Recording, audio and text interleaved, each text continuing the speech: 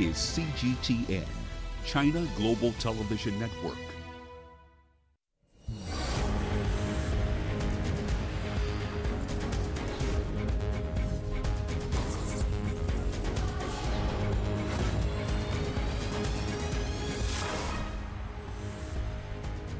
Tonight's sports scene packs a punch as we look ahead to next week's Africa boxing qualifiers in Dakar, Senegal, where the best pugilists will trade blows for the coveted 33 slots. 22 men and 11 women from the continent will make it to the Tokyo 2020 Summer Olympic Games. Welcome to your home of African sports news, views and interviews here on CGTN Africa. This is Sports Scene and I'm Mahia Mutua in Nairobi. Let's check out what else is coming up on tonight's show. Celebrations as Egyptian giants Zamalek toast a memorable CAF Super Cup victory in Qatar. And teenage polo player Aisha Suleiman is breaking barriers for women in conservative Nigeria. Welcome to the show. Now, Malian boxer Mohamed Diaby has relocated to Senegal to train and boost his chances of qualifying for the July Olympic Games in Japan. The 36-year-old athlete who missed the last edition in Rio is out to make his country proud in the Japanese capital. CGTN's Sadiq Shaban has more from Dakar. My name is Mohamed Diaby. I come from Mali. I'm boxer. I'm fight uh, in uh, street boxing and English boxing. I've uh, 35 years and uh, I live here in Dakar. It's a routine that Mohamed Diaby knows too well. Born a French citizen, Diaby switched allegiance to Mali to boost his chances of playing the game at the highest possible level. It's my country also, but uh, Mali it's my earth country. So uh, I want to represent Mali. Uh, I want to represent my family, and uh, and uh, if it if it is, if it is possible, uh, it's, it's, it's better for me. For two years, Diaby has been preparing for the 2020 African Boxing Championship in Dakar. He knows the toughest opponents will be coming. Uh, Morocco, because uh, they have um, a lot of experience. Uh, Algerian people, you know. Cameroon is a good country. And uh, Ghana, they have a lot of boxers. And uh, South Africa, it's good, it's good for me. It's in uh, my house because now I live in Dakar the event is in Dakar. So uh, if, when you fight in, in your house, it's better for you. He missed the last Olympic Games in Brazil after he switched from English boxing to kickboxing. Four years earlier, he was disqualified from the London Olympic Games for doping during the African Boxing Olympic qualifiers in Morocco. It's not my, my, my fault. It is uh, uh, just uh, an accident. And they say, okay, you can go back to the competition it's my last chance because you know I'm I'm a little bit odd for for practice the next uh, Olympic uh, Olympic game in Paris. But uh, I think it's a, it's, a, it's a good moment for me because I'm, I, I, have, I have some experience. I have uh, I, I want to, to, to win something. I want to go to Tokyo. I want to qualify for, for, for my country. And I, I, I think if I, if I can qualify for my country, uh, it's, it's don't stop uh, the war Mali, but it's good for the population. They can, they can know some Malian can do something. The African Boxing Championships in Senegal in February will serve as a continent's qualifiers for the 2020 Olympic Games in Tokyo. Diaby, who hopes to carry Mali's flag during the opening ceremony, will first have to floor his opponents in Dakar and earn a ticket to the Games in Japan. Sadiq Shaban, CGTN in Dakar, Senegal. Well, Ghana's national boxing team, the Black Bombers, are also gearing up for the Tokyo Olympics. But before that, they need to qualify for the Games at the African qualifiers set to take place in Senegal later next week. The country has won three Olympic boxing medals in its history and the team hopes to make it to the podium once again. Nabil Ahmed Rufai reports from Accra. Sarah Appel has her eyes set on the Olympics, which is why she's constantly working on her jabs and hooks. Every day we come to training, we train, we do physical sparring, we do press up, push up, and we are still training. We'll, co- we'll keep on training until we get there. And if we get there, we are not going to give up. We'll make sure we fight and qualify for the Olympics. Sarah is among 41 amateur boxers of Ghana's national boxing team, the Black Bombers, in camp preparing for the Tokyo Olympics. The team hopes to qualify for the Games after participating in the African qualifiers in Senegal in February. Going there, we are going to face more than 50 plus African countries, and it is only few of them that will be selected for the uh, uh, Olympics Games. So um, we are not resting. We keep on pushing. We were, we, today we were working on the uh, sparring to be able to see some of their uh, uh, mistakes, and then we see how we can in, uh, keep on improving them.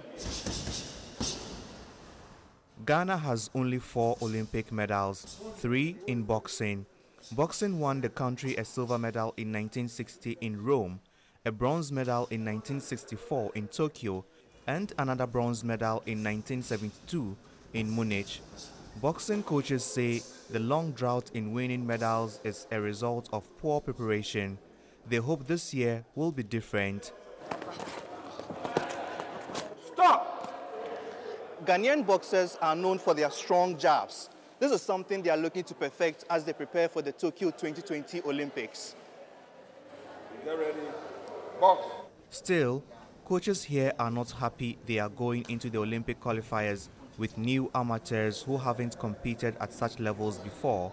They say it's because those who have represented the country at the Olympics in the past move on to professional boxing and are no more interested we go with uh, fresh boxers because our boxers most of the time stand uh, professional. So it's a, it's a challenge for us. We need to always improve uh, their, their, techniques, their tactics, their endurance level, the, uh, the, exposure that they get, and then all of a sudden they, they dash to professional. The coaches are, however, determined to see Sarah Appel and her teammates, the Black Bombers, qualify for the Olympics and they hope to punch their way to the podium in Tokyo. Nabil Ahmed Rufai, CGTN, Accra, Ghana. Well, heading east now, Uganda will send 13 boxers to take part in the Olympic qualifiers in Senegal next week. It will also be the first time the country's female boxers vie for Olympic slots, as CGTN's Leon Senyange now reports.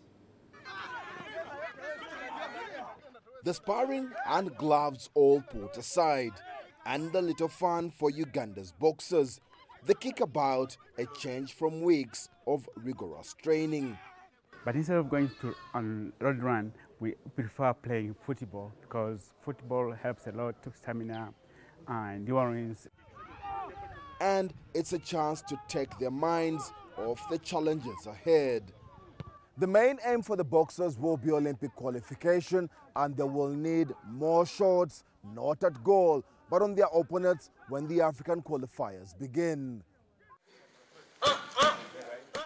All the hard work has been put in right from the national selection matches early this year to the training now.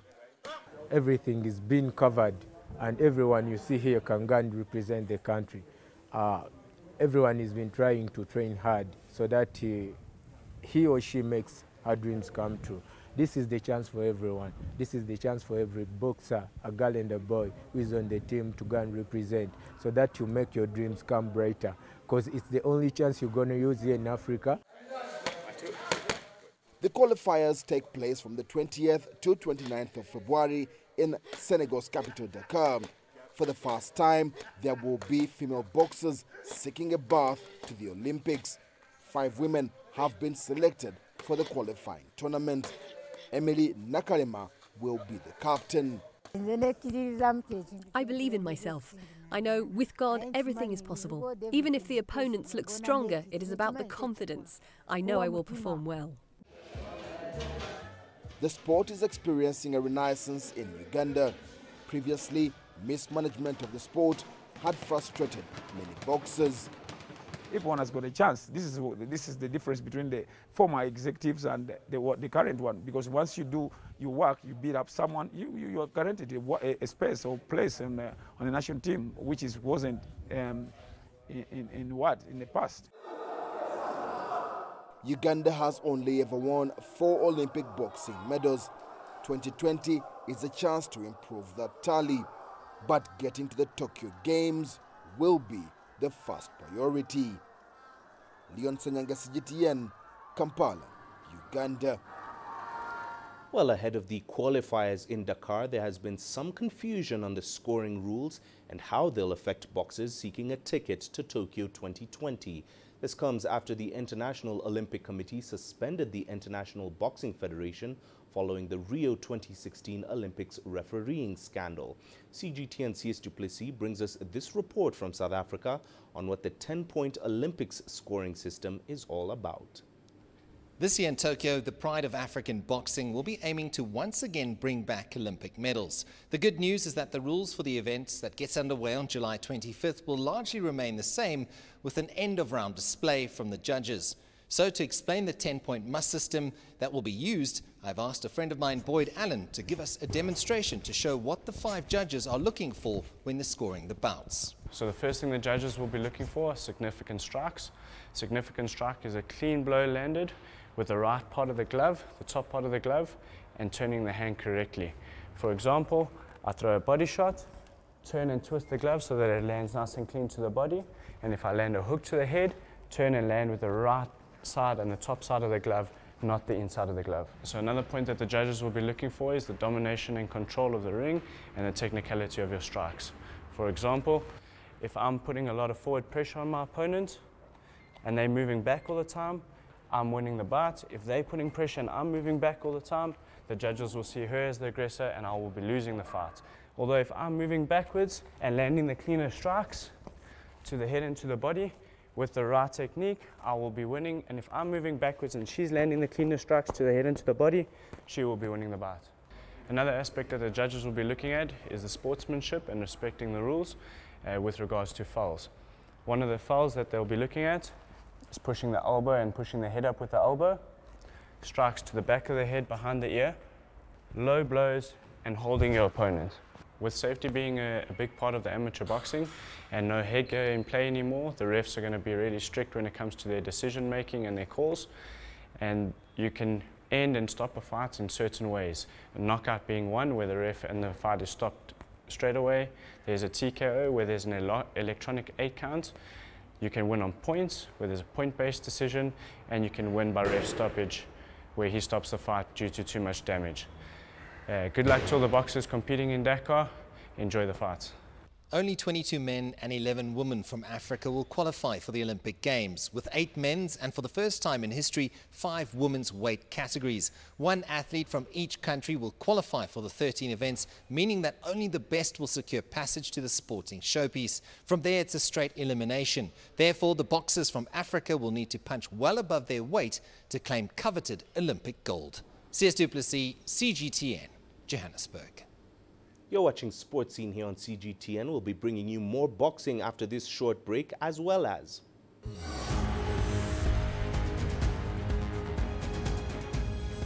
Telling you about celebrations as Egyptian giants Zamalek toast memorable CAF Super Cup victory in Qatar.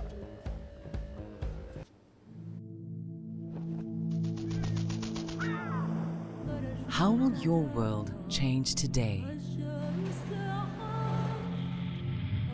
What happens here? What happens there? Or what you make happen for yourself? If it matters to you, it matters to us too. Your stories are the stories that need to be told. Africa Live. Find your voice.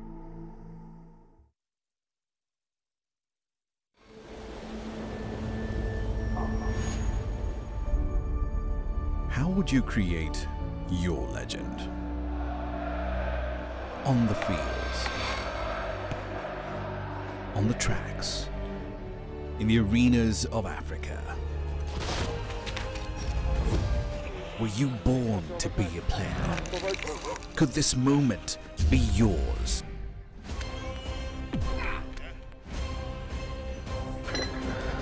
Sports Scene. Find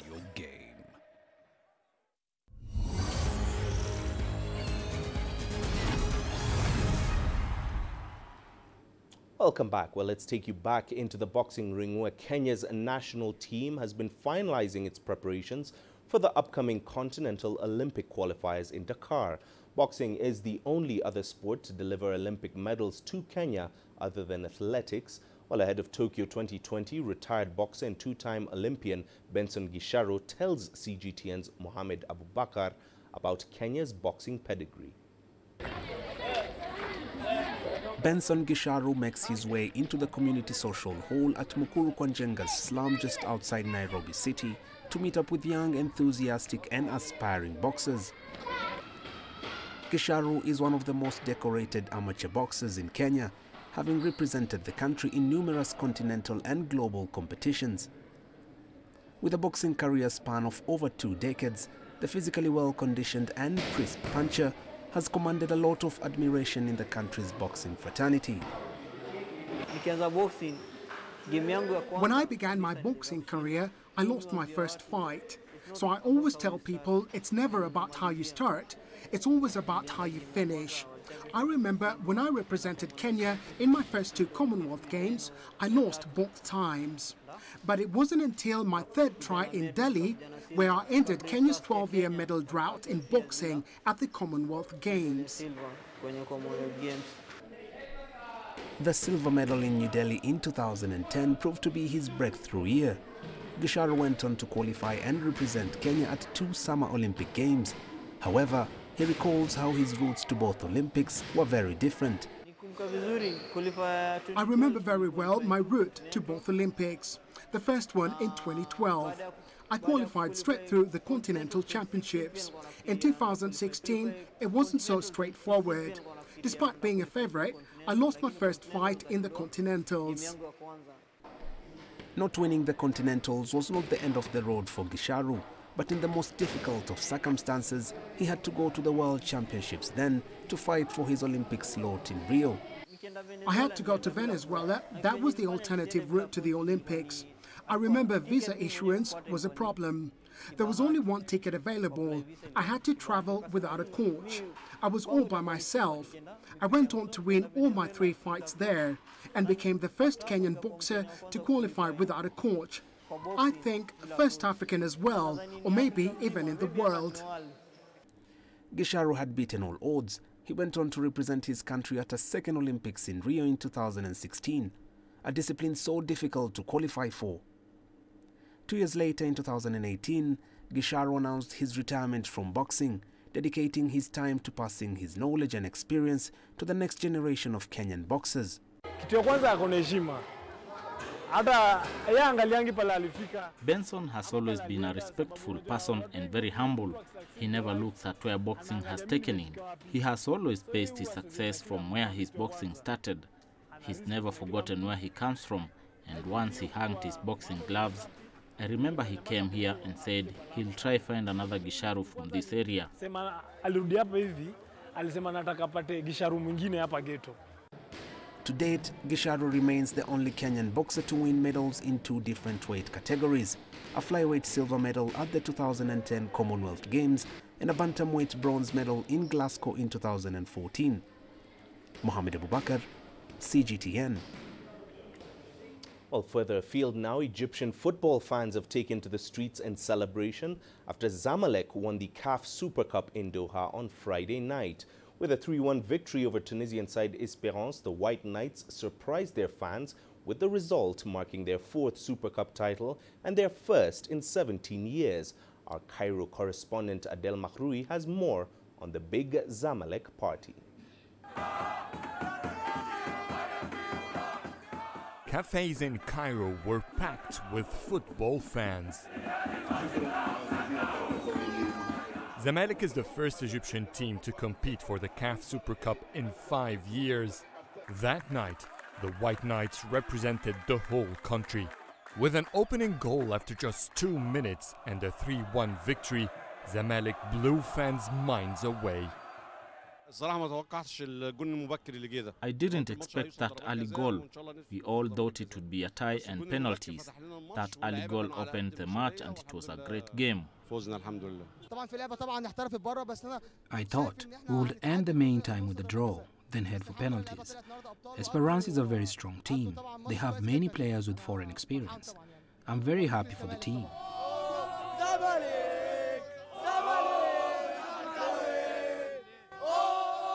After the match, the club had its gates wide open for everyone to join the celebrations. For 17 years, El Zamalek has not won the African title. There's an entire generation from the club's supporters who have not seen such a moment. I am extremely happy. This is the first African Super Cup I've watched with my team. I'm too happy to find words to express myself. This is the first Super Cup for me with the team, and it won't be the last. Next will be the Egyptian Super Cup. We were down from the start of the season, but in this match, we've seen a new Zamalek. The Super Cup only sets up the scene for a series of fiery games for Zamalek. Soon, they will clash twice against Esperance in the quarter-finals of the CAF Champions League. But first, the White Knights are scheduled to face Al Ahli for the Egyptian Super Cup this Thursday. Adel Mahroui, CGTN, Cairo. Well, it's time for us to take another short break, but don't go anywhere. Here's what's coming up.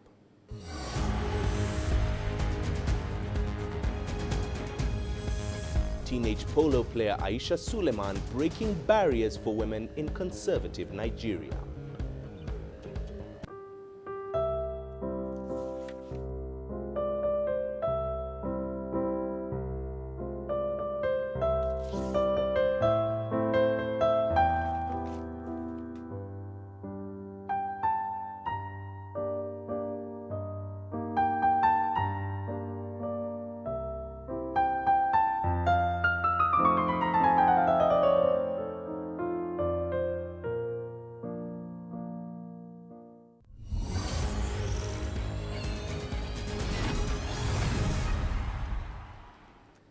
Polo was introduced to Nigeria in 1904, long before football, and it has remained a largely elitist and male-dominated sport since, in the nine cities it is played in.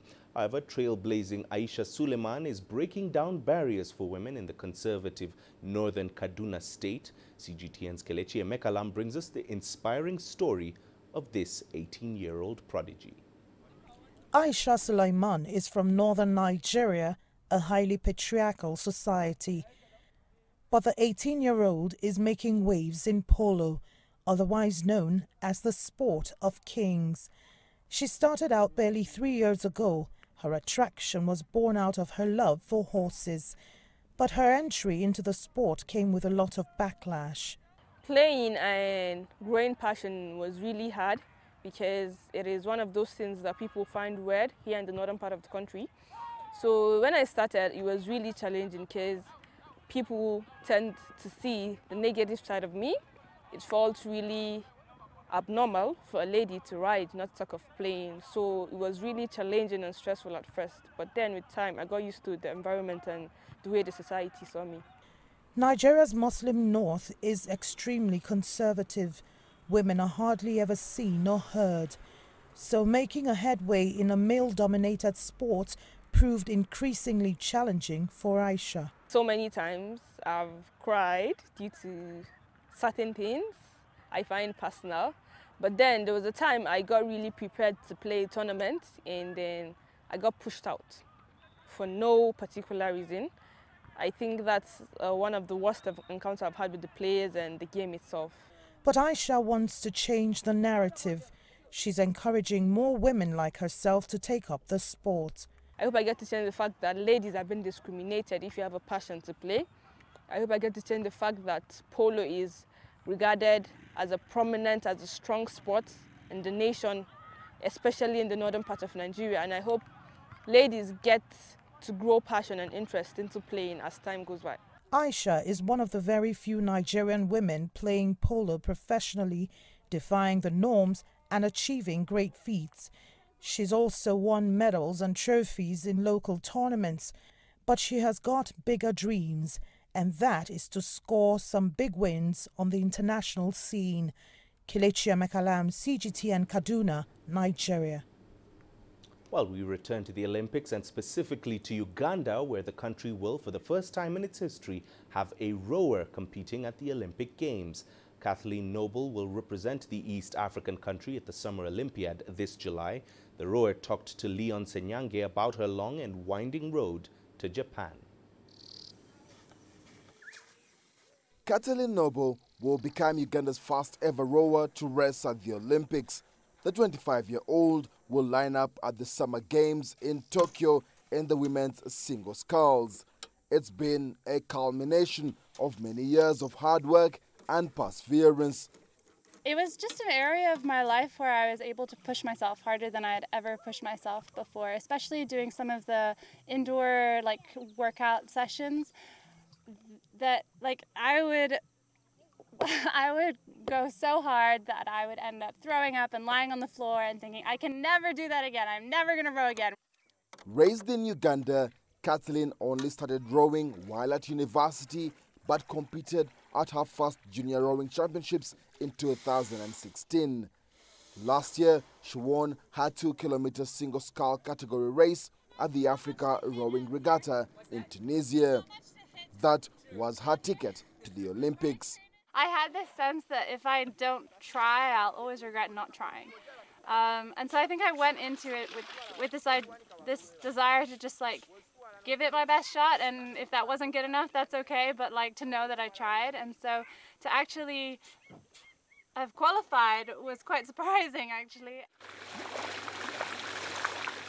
Kathleen says qualifying for the Olympics ranks as her greatest sporting moment so far.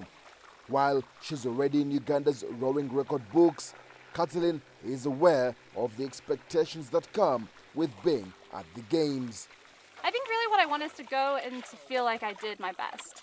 Um, and and I think I'll know that by how I feel at the end of the race. I think I'll know that I've done my best if I finish the race and I'm just completely spent, you know, totally exhausted. Inspired by the Olympic dream, she's pulling ahead in her training. But she wants to see other young Ugandans follow in her wake. I think that especially within the, the, the, women's field, I think that could happen again in four years. If someone, if there's a woman here who wants to train hard, like I really do believe that we could qualify someone for the next Olympics as well. Kathleen will spend the next months training away from Uganda. Her category races in Tokyo will start on the 24th of July. Kathleen is aware of the expectations when she hits the waters in Tokyo. She admits it will be an experience, but hopes her participation will inspire many other young growers here. Leon Senyange, CGTN, Luzira, Central Uganda. And that's where we leave it on this week's edition of Sports Scene. Do remember you can send your feedback to the contacts on your screen and follow us on our digital media platforms. We'd love to hear from you. Uh, thanks for watching. I'm Mahia Mutua. We leave you with images from Portugal where surfers took to the water to tackle some of the biggest waves in the world in spectacular fashion.